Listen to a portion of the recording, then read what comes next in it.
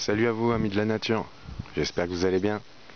On va parler aujourd'hui néflier du Japon.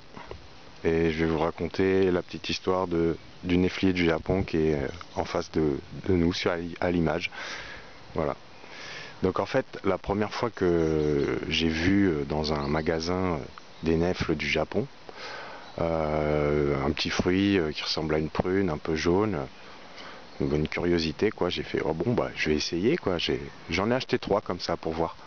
Et puis euh, et puis en fait euh, je les ai pas mangés tout de suite. J'ai bien laissé passer euh, une à deux semaines avant d'y goûter d'avoir la curiosité d'y goûter.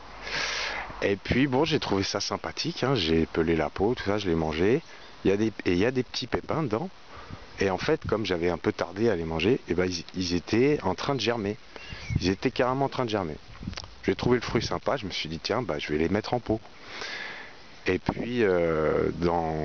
il y en a un qui a survécu, quoi, qui a fait un, petit arbrisseau, un petit, petit début d'arbre, dont j'ai pris soin, euh, voilà, pendant jusqu'à aujourd'hui, en fait, jusqu'à euh, ce sujet-là que vous voyez, et qui a actuellement 3 ans, qui est encore en conteneur, c'est un conteneur là d'une dizaine de litres. Donc chaque année, je l'ai rempoté dans un pot un peu plus gros.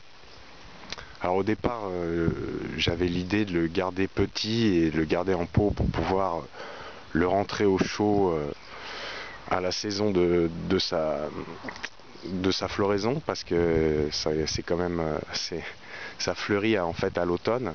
Donc c'est risqué au niveau du gel parfois. Par exemple l'année dernière je sais qu'au mois de décembre on a eu du moins 10 donc là c'était je pense que les les néfliers du Japon n'ont pas donné cette année-là probablement. Donc c'est un peu risqué, hein. c'est pas un arbre qui est de chez nous. Euh, voilà, mais euh, bon comme les graines étaient euh, germées, je me suis dit voilà. Donc au début l'idée c'était de le garder petit, mais en fait ça y est, je sens qu'il en peut plus là. Vous voyez, il est en train de, il est en train de ramifier en haut. Euh, il, cherche à grandir et tout, donc euh, il me fait mal au cœur. Je me dis, il faut qu'il connaisse la pleine terre. C'est un arbre de pleine terre. Euh. Alors, je crois qu'il y a une variété qui existe avec des feuilles plus petites, qui est plus propice à la culture en pot, en gros pot. Voilà, mais là, euh, je pense que celui-là, il attend que la pleine terre. Donc, même si c'est risqué, même si euh, probablement j'aurai pas des récoltes tous les ans, euh, compte tenu des, gelées qu'il pourrait y avoir au moment de la floraison, bah, je, vais le planter en pleine terre. J'ai vu sur d'autres vidéos l'arbre que ça peut donner, c'est quand même un, bel arbre, au feuillage persistant d'ailleurs. Hein. Il, vient seulement de perdre euh, les premières feuilles depuis que depuis qu'il existe en fait. Euh, je les ai mis au pied là en, paillage, mais euh, c'est vraiment c'est vraiment ça prend un certain temps avant de perdre ses feuilles quoi. Avant que les, feuilles d'un persistant jaunissent et, tombent. C'est à dire que ça se renouvelle quoi. Et donc là il est je sens qu'il est tout vigoureux. Je l'ai rempoté. En plus il y a, au mois d'avril. Et là il, je sens qu'il est déjà à fond de à fond de balle. Donc euh, voilà, il attend la pleine terre. Donc là, ça y est, je lui ai trouvé un endroit où il pourrait être euh, plutôt pas mal. Donc euh, alors apparemment faut un bon ça peut s'adapter à tout type de sol mais il faut que ce soit quand même assez drainant quoi. Voilà. Donc sinon c'est un arbre donc persistant hein, floraison fin d'automne et il donne ses fruits au début du printemps vraiment au moment où on n'a pas encore trop de fruits.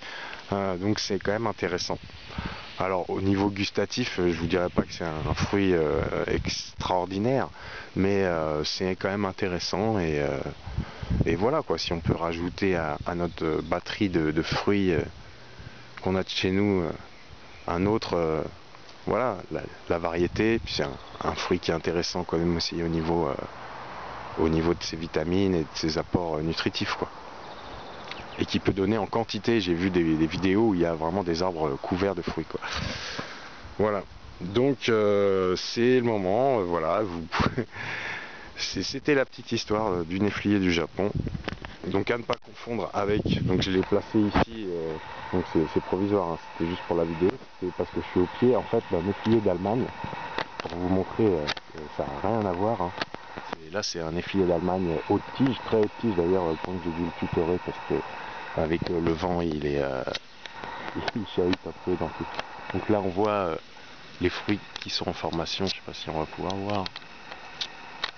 Je un peu à contre-jour là, je vais essayer de me rapprocher. Hop là. Donc voilà, une petite nefle d'Allemagne, enfin de chez nous quoi. On peut dire les nefles tout court quoi. Et c'est les autres, c'est les nefles du Japon. Ouais, neflier du Japon. Il commence à avoir un tronc, euh, voilà, il commence à avoir un vrai petit tronc. Donc là, jusque là, il était protégé, euh, protégé du vent, donc il va un peu chahuter au début, mais il va, il va se renforcer et euh, ça va aller quoi. Donc je vous mets le lien en fin de cette vidéo pour le néflier d'Allemagne, pour ceux que ça intéresse. Voilà, c'est excellent. Fruit à manger après une gelée. C'est un petit goût de compote, petit goût de châtaigne, c'est très sympa. Voilà, c'était la vidéo. Donc toi, mon coco, tu vas être planté en pleine terre et puis tu vas pouvoir prospérer. Allez, je vous souhaite une belle journée et puis à une prochaine. Salut